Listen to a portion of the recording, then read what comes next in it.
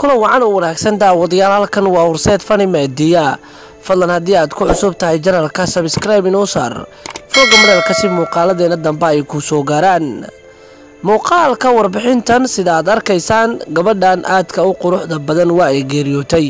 Warbixinta aanu maanta ka hadli doonno iyada ayay ku saabsan tahay sababtii ay u geeriyootay iyo qaabkii markaa marxuumadda ay u dhimatay ayaan idinkugu soo gudbin doonaa muuqaalka haddii aad daawanayso layg inoo saar taasoo ka dhiga inaad ka heshay sidoo kalena waxay noqonaysaa dhiirigelin aad siinayso shaqaalaha horseed fani maadiya mahadsanid daawade. Zuhur maxamed waxay ka mid tahay hablaha soomaaliyeed kuwaasi oo mustaqbal iyo han sarela ka lahaa nolosha.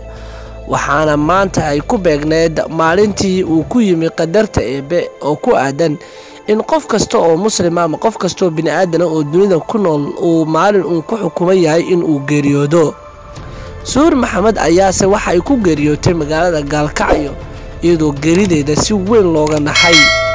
Geerideedu waxay ka dambeysay ka gadaal markii hub yaallay gurigooda uu adeegsaday ilmo yar oo iyada la dhashay aadna uga yaraa oo lix sano jir ah kaas oo xabadda sida la sheegay ee uga fakatay walaashiisa ka weyn. Hubka ayaa inta badan waxa uu ka yahay gaalkacyo mid si fudud loo heli karo maadaama magaaladaasi ay ka soo kabanayso colaado aanooyin qabiil waxaana dhacaysa in qof kasta oo guri ku nool uu hub haysto. Taasina waxaay u sahlan tahay in carruurta yar haddii aan laga qarin hubka ay adeegsan karaan ayna ku waxyeeleen karaan dadyawa kale ee guriga la jooga.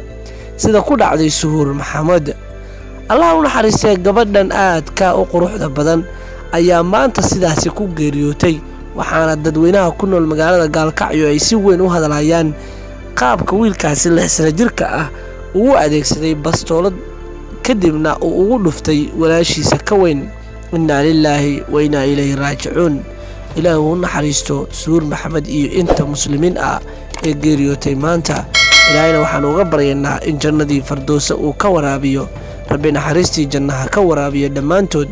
Innagana gadaashooda rabbi inama fidneeyo oo ilaahay waxaanu ka baryaynaa in ilaahay uu inagu dilo waddo wanaagsan ama waddo saalixa. Aamiin aamiin aamiin idinkuna qeybaha hoose ee komitiga noogu soo aamin gareeya waa mahadsantihiin horseed fani meediya sabskribe saaro.